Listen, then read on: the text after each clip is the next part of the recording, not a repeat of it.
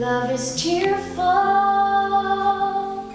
or it's gay. It's a problem or it's play. It's a heartache either way. But beautiful. And I'm thinking